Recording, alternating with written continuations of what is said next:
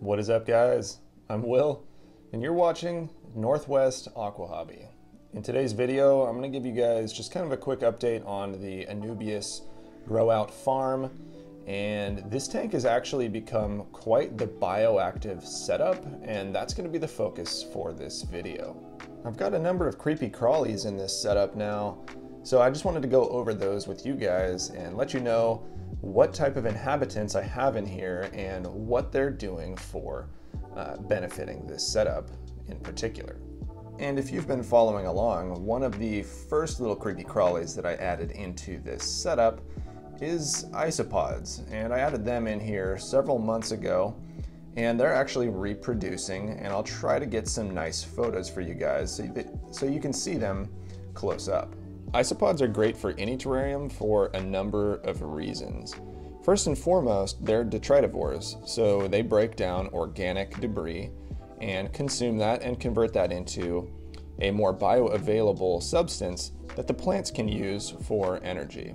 The other thing that they do that is, is great for plants in particular is they actually burrow into the substrate and aid in aerating the substrate and providing good oxygen and gas exchange to the roots of whatever plant it is that you're growing.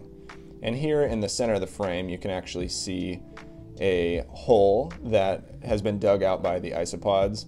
And that just kind of highlights the example that they do provide great aeration to your roots. And you may recall about 25 days ago, I added some alder leaves to this setup. And as you can see, those leaves are very well broken down now and those isopods have done a great job of doing just that. And by breaking those down, they are providing a nice nutrient source to all of my Anubias plants. So that's a quick update on the isopods. Let's go ahead and cover a couple more organisms real quick. A few weeks ago, I noticed that I had some gnats growing in this setup, so I thought, what the heck, let's throw a spider in there.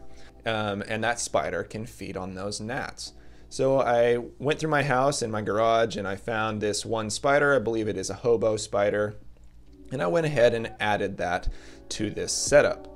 Uh, hobo spiders are typically considered a funnel web type spider.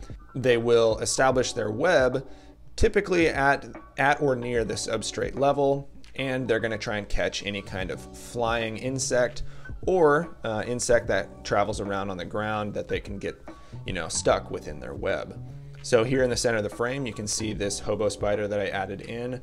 Um, definitely, I'm going to try and keep my distance from him so I don't get a bite. But you know what? If I get a bite, I'll survive too. So that's all right. And I'll see if I can get some nice photos of the web that he's created. Uh, I find it to be pretty cool.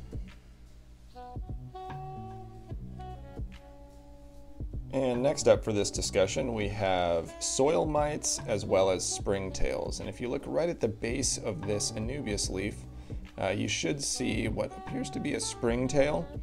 Um, they're pretty difficult to discern the two between you know a soil mite and a springtail, but they serve roughly the same purpose.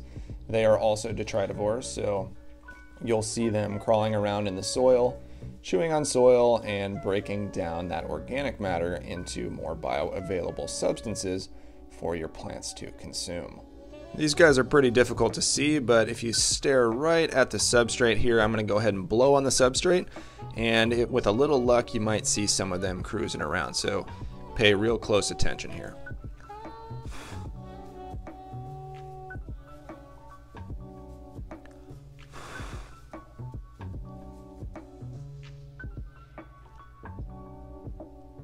You know, you may think that those soil mites and springtails really are only staying at the surface, but in reality, those guys are actually boring down into the soil a good a fair ways. So that's really helping in oxygen exchange and breaking down of organic matter, just like the isopods.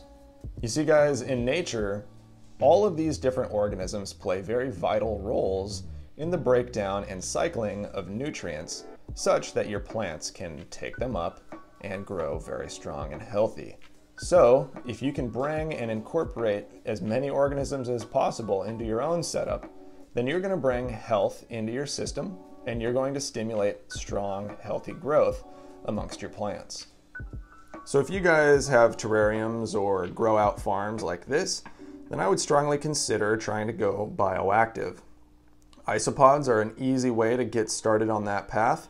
All you need to do is go outside and flip over a few logs and you should be able to harvest some isopods for free and put them in your tank and as long as you keep the soil nice and moist, I'd be willing to bet that they're going to reproduce just like they have in this tank.